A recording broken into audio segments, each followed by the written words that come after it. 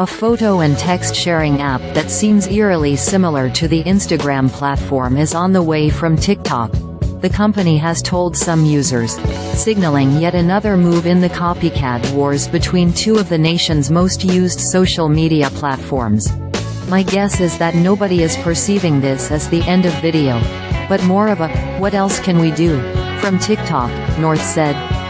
They are canvassing the world for what is engaging to people and thinking, can we just own it all? 78%.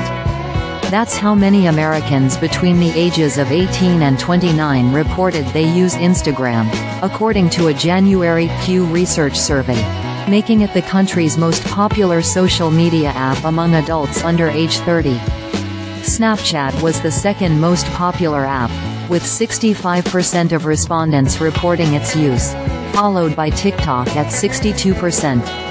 Experimenting with an app seemingly similar to the main feed of Instagram is the latest move in a back and forth that has seen major social media platforms repeatedly integrate features of the others. Instagram, for example, launched the Reels feature in 2020 to encourage users to use its platform for short-form videos instead of rival TikTok and TikTok launched a Stories feature similar to that of Instagram and Snapchat in 2022. Platforms like Twitter, YouTube and even Spotify have adopted their own versions of TikTok's For You page, which recommends posts to users based on an algorithm that predicts their interests, and its endless scrolling video format.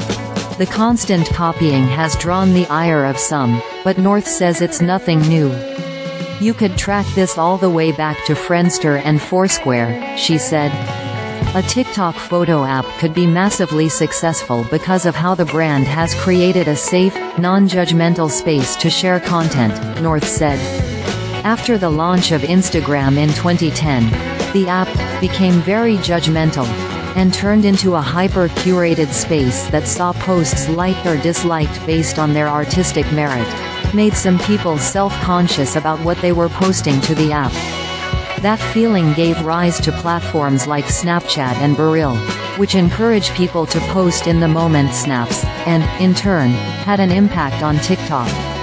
The people who are making a lot of money are posting high-quality entertainment, but there's also a culture of other people jumping in and just being themselves, Smith said.